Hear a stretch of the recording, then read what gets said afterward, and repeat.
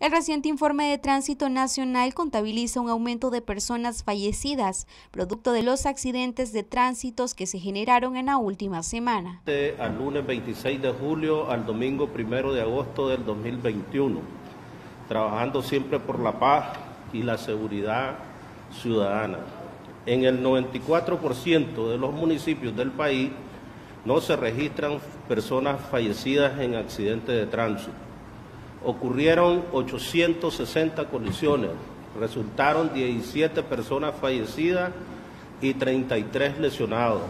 En relación a la semana anterior del 2021 disminuyeron en 10 personas lesionadas e incrementó en 3 los fallecidos.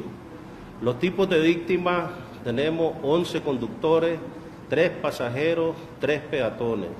Las principales causas de ocurrencia de estos accidentes en fallecidos 5 por estado de ebriedad, 5 por exceso de velocidad, 4 por invasión de carril. Las autoridades policiales recuerdan que los accidentes se pueden prevenir por lo que llaman a tener mayor prudencia en el momento de conducir y transitar por las vías. Recomienda siempre para salvaguardar la vida de los, de los y las nicaragüenses que hacen uso de la red vial a no conducir en estado de embriaguez siendo una de las causas principales que está afectando a las familias nicaragüenses.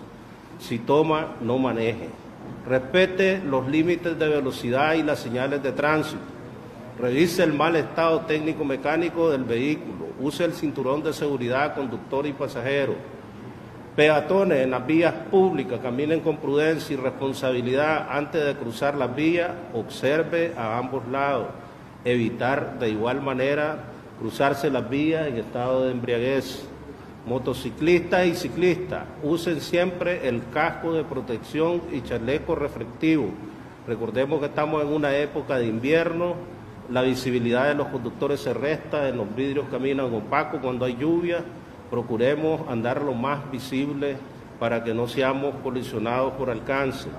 Conductores, prestar especial atención en la vía pública durante el periodo de lluvia circular con luces encendidas, disminuir la velocidad, máxima precaución, evite transitar por zonas de alto riesgo, evite cruzar puentes inundados o cauces con fuertes corrientes.